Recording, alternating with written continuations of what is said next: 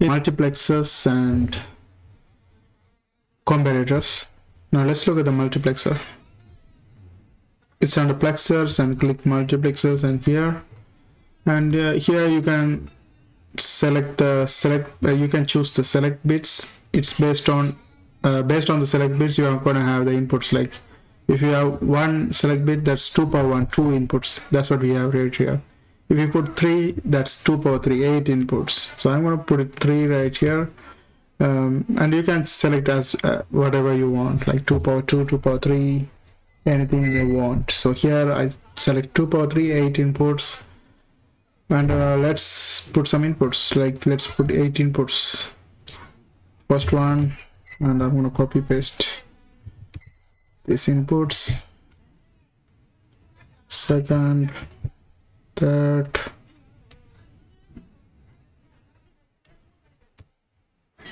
and then fourth one.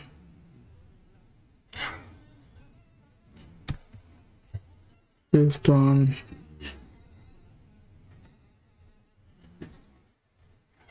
And then sixth one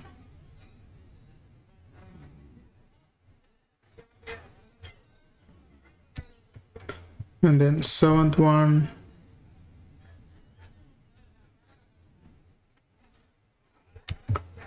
And then eight. Okay now we have eight inputs. Okay um, hmm.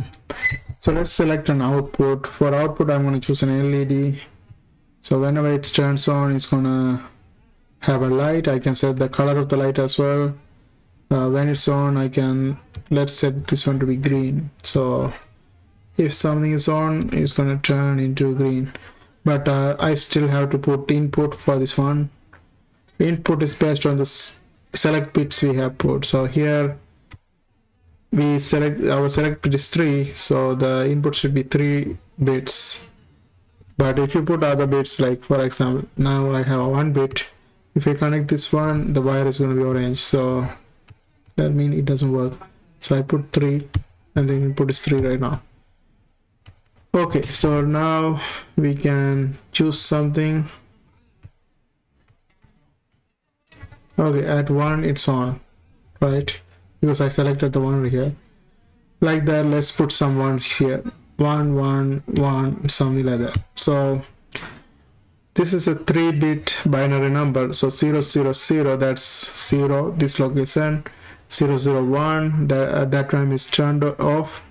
And then 0010 is turned on.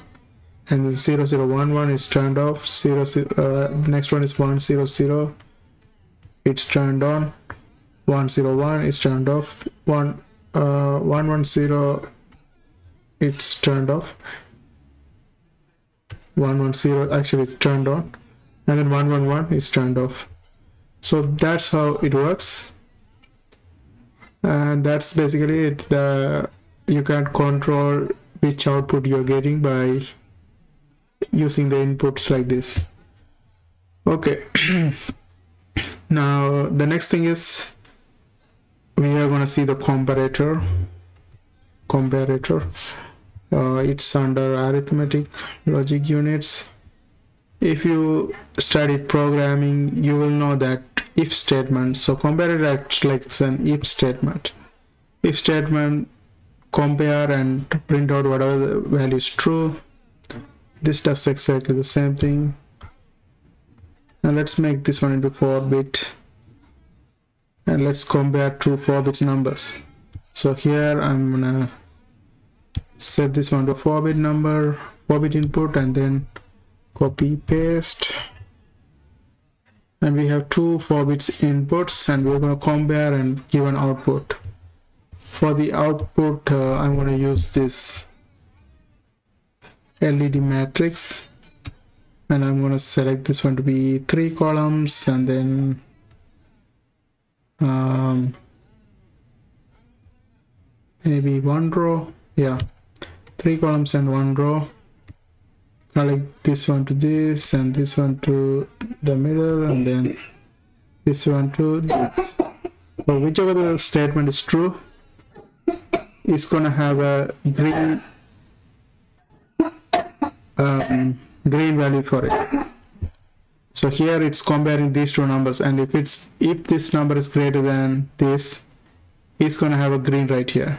If this okay if these two okay if these two are uh, equal uh, this is gonna have a green right here because here we have equal. And then if the, this one is less than this we are going to have a green right here. So let's check whether it's true.